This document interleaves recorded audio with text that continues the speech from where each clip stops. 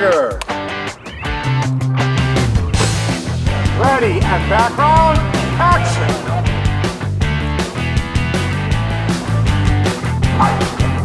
Perfect. Uh, Bruce St. Clair, the director. We're shooting the Mini F56, the launch uh, here in LA.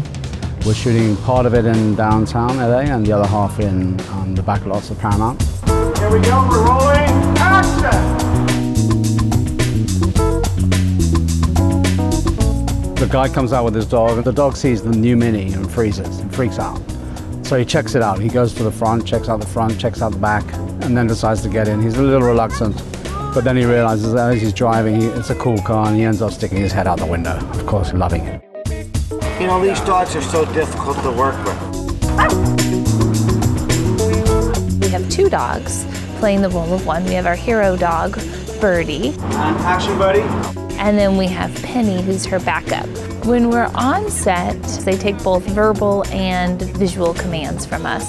Get on your mark, get around.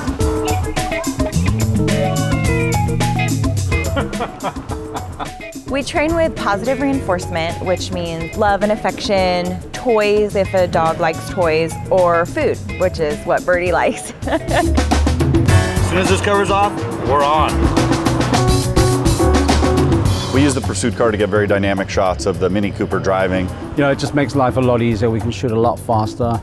We can get a lot more um, action shots. Uh, it allows us to get, you know, 20 feet off the ground, far away, like almost a helicopter shot of the vehicle. And then, yeah, then we can move to inches away from the car to shoot the badges, the wheels. We're doing really aggressive turns to show what the car can do and the performance of the new Mini Cooper.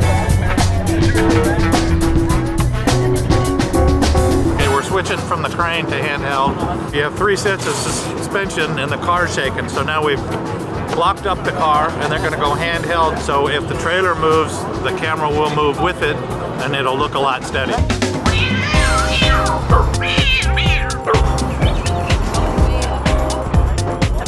I've never driven a car where the moment I turn it off, they run in with like plastic wrap and blankets and everything and just secure the car and hide everything so nobody sees it. That's a wrap, ladies and gentlemen. It's a freaking awesome car.